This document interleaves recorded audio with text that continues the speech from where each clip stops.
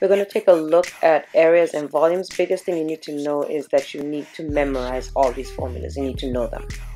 Right, so make a tab in the back for our preparation for calculus. First thing we're going to look at is areas. So the formulas for areas.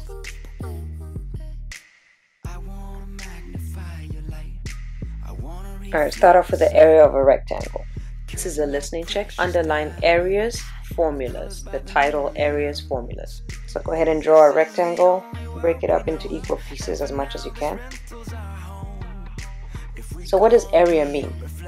Area is the amount of space inside a boundary. A two-dimensional boundary. So if each box um, represented one unit, I would have 1, 2, 3, 4, 5, 6, 7, 8, 9, 10, 11, 12. 12 units. I'm actually going to add another one. And without counting, how many would that be? 16. So it's a 6 by 3, and obviously if the area is all the boxes around it, I would get 18. But no one has time to sit here and count each individual unit. So a faster way to get the area would be to do what? This is a listening check, underline boundary. It would be to multiply the length and the height or the base and the height. So the area of any rectangle is the length times height. More commonly we use base times height. Because 6 times 3 is going to give you 18. And let's take a look at the area of a triangle. Well, what you do with the area of a triangle is you start off with a rectangle, which we know is base times height. And then we cut along this dotted line. This is a listening check.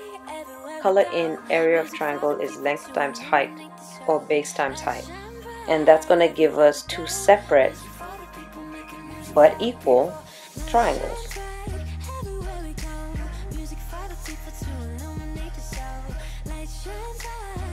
So if I know the area of a rectangle is base times height, and that same rectangle has now become two triangles, then we can say then the area of one triangle is going to be a half the area of a rectangle, which is a half base times height. And that's how you get the formula for the area of a triangle. All right, let's take a look at the area of a parallelogram.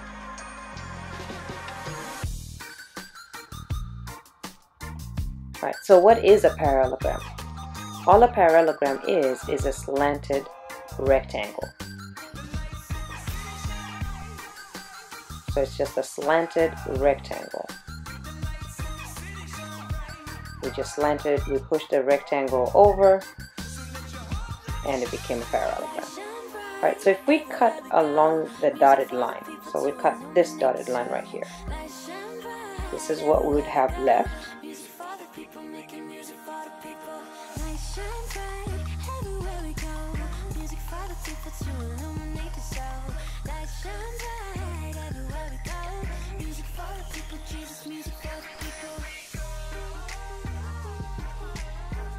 Now that you have this piece, move this triangle to the front. So now it looks like this.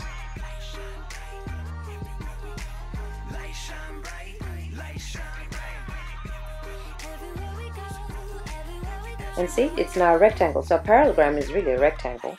Or you can rearrange it to be a rectangle. So because of that, the area of a parallelogram is the area of a rectangle, which is equal to base times height.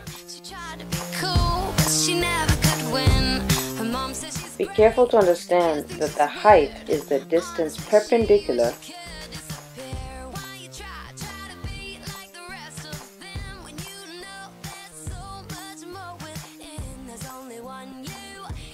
And what is perpendicular? It means it goes straight up and down. It meets at 90 degrees.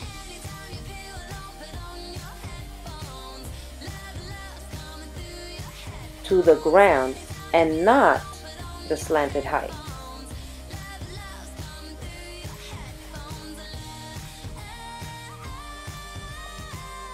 Alright, uh, area of a trapezoid. Alright, so to prove this one, draw two trapezoids right next to one another. Try and make them the same as best as you can, of course.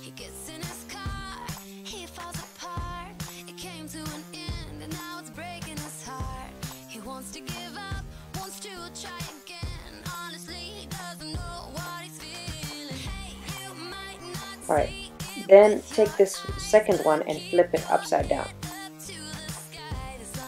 So what does that look like? I'm just going to draw the points directly down so I can keep it exact. So there's the first one, just regular, and then take the second one and flip it. So now it looks like this.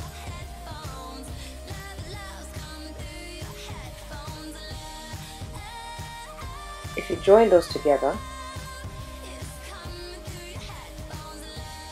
basically push the right one um, to the left, then this is what you get. What is that now? It's now a parallelogram. The listening check, color in join, color in the word join.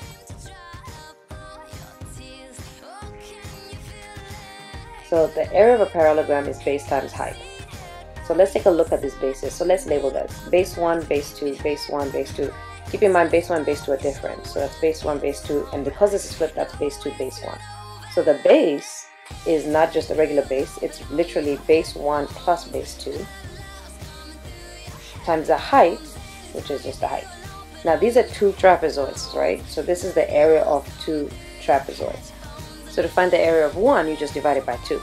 So we can rewrite this as the area of one trapezoid is equal to one half of B1 plus B2 times H. And that's how you get the area of a trapezoid. We're going to take a look at a circumference of a circle. And all circumference means is the distance around the circle. Well, pi is defined as a ratio of the circumference to the diameter.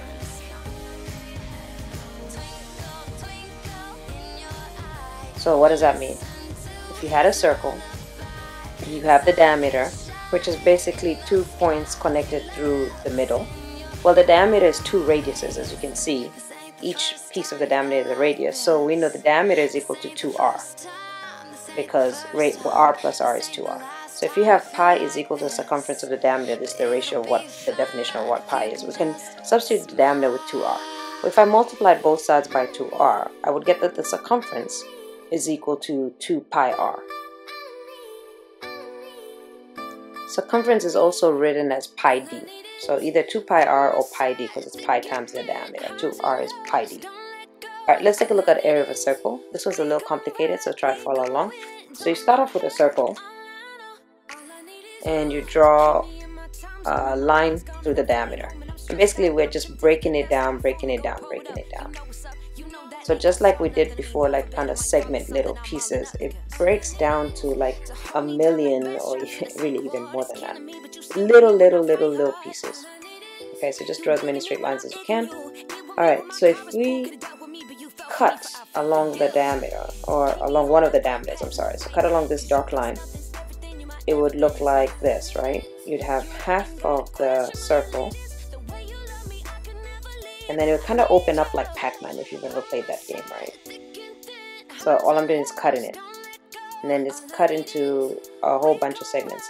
Well, I'm gonna stretch it out a little bit until I've got it horizontal, so it stretches out to these, and then just put the segments in um, through the radius now.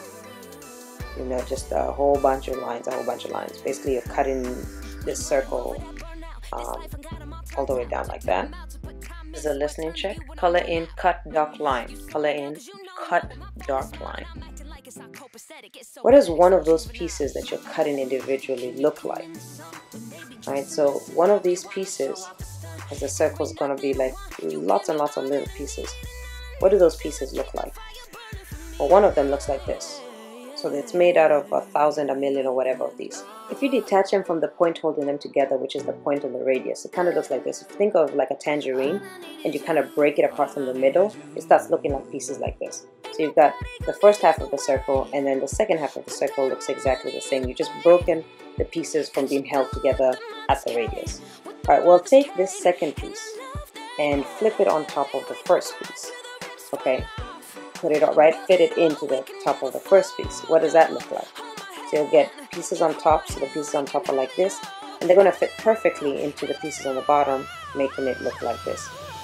And the idea is that if you cut these pieces small enough, what's actually going to end up happening is you'll have a rectangle that's cut up into a million, million, million, million little pieces.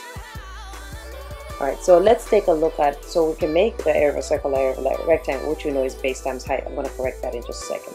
So what's the base? So if we look all the way back, the base on the bottom, what is that?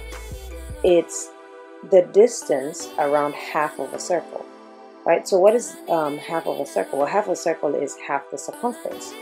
So the base is half the circumference. So the base is half the circumference, which is 2 pi r, times the height. Well, what is this height? This height is like one little piece, right? And remember that one little piece goes from the radius to the circle. I mean, sorry, from the point in the middle to the circle, which is the radius. So the height is r. So it's going to be a half base times height, which is simplified to pi r, times the height, which is r. So base times height, which is simplified to pi r, times the height, which is r. So what does that mean? The area of a circle is pi r squared. And that's how you get the area of a circle.